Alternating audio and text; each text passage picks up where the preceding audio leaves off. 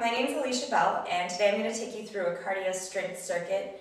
Um, as a fighter, you're always constantly using strength, power, and cardio, so it's good to combine that in a workout. Um, you can go through as many rounds of the exercises as you want.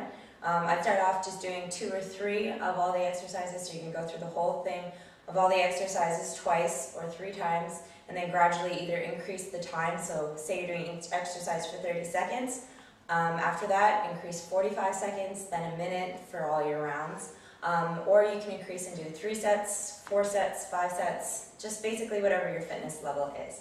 So the first exercise are knee to jumps. So you're going to need a mat for these. And what you're doing is you're using your core, using your legs to power up into a jump position.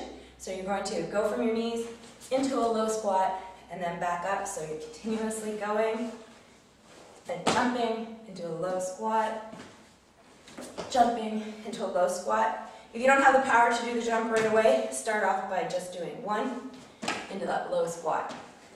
Next exercise is a cardio exercise. Rid of that. Mountain climbers. So you're working your core, you're working your cardio. Nice plank position. Bringing knee to chest, and you're running. So you want to keep that butt down, core tight, and you're running. For more of a challenge, you can go out to the side.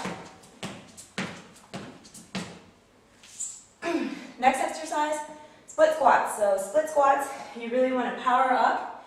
And you can hold on to a med ball for any of these exercises to, if you need more of a challenge. So holding on to that 6 pound, 10 pound med ball. go to jump.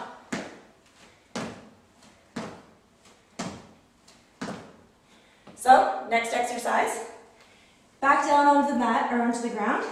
Legs are out. Doing a single hop in. If you want to add more of a challenge, you can make it a full burpee.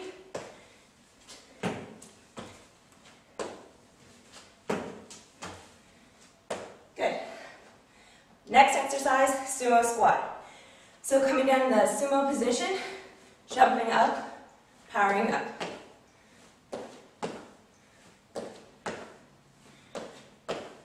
Last but not least, last cardio exercise. So you're going, this is called a Heisman. So you're starting off low, skiing to the other side, keeping that hip flexor tight, lifting your legs up. You can do it with or without the med ball, just like any of the exercises.